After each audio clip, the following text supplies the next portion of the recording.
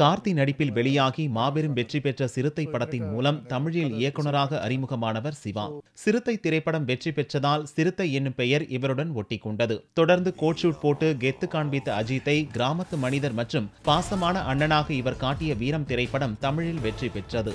Action plus குடும்ப சென்டிமெண்ட்டுடன் வெளியான வீரம் திரைப்படம் அனைத்து தரப்பு ரசிகர்களையும் கவர்ந்தது. வீரம் வெற்றி பெற்ற பின்னர் இரண்டாவது முறையாக அஜித்துடன் இணைந்து வேதாளம் திரைப்படத்தை சிறுத்தை சிவா இயக்கினார். அஜித் நடிப்பில் தீபாவளிக்கு வெளியான வேதாளம் திரைப்படம் தற்போது வெற்றிகரமாக திரையரங்குகளில் ஓடிக்கொண்டிருக்கிறது. இந்நிலையில் சிறுத்தை சிவாவுடன் மூன்றாவது முறையாக அஜித் இணையப் போவதாக செய்திகள் வெளியாகி இருக்கின்றன. இந்நிலையில் இந்த படத்தில் அஜித்துடன் இணைந்து சிவகார்த்திகேயன் நடிக்கவிருப்பதாகவும் கூறப்படுகிறது. யாரானே எங்கடா இருக்க? கண்ணாமூச்சி ரே ரே.